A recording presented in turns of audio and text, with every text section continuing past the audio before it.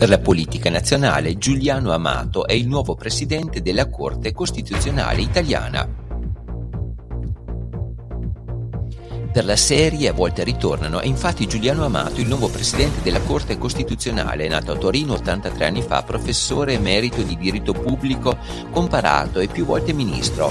Ha all'attivo due mandati da presidente del Consiglio dal 92 al 93 e dal 2000 al 2001. Nominato dall'ex presidente della Repubblica Giorgio Napolitano il 12 settembre 2013, Amato è il giudice costituzionale con maggiore anzianità.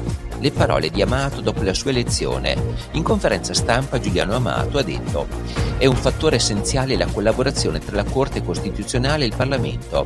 In questi ultimi anni la composizione dei contrasti è diventata ancora più difficile che in passato.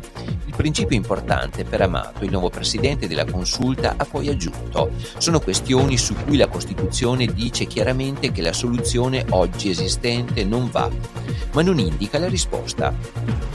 Ed è qui che la collaborazione tra la Corte e il Parlamento diventa un fattore essenziale.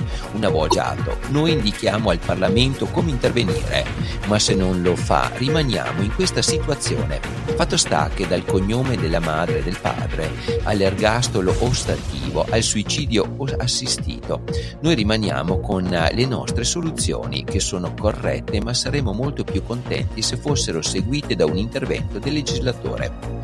Serve una collaborazione più funzionale tra la Corte e il Parlamento, ma trovare un punto di equilibrio alla sua difficoltà e da un intervento del legislatore.